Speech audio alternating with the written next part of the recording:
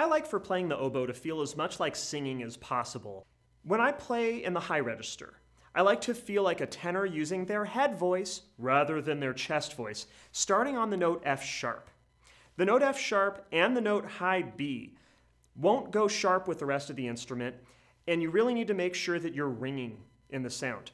With the F sharp, you can get ring easily with the low B key added.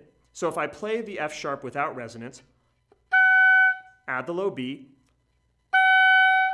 I want to sound that good without the low B. Same thing for the high B, but with the low C key. Without, with the low C, resonating without the low C, allows me to play a B major arpeggio. So B, D sharp, F sharp, B.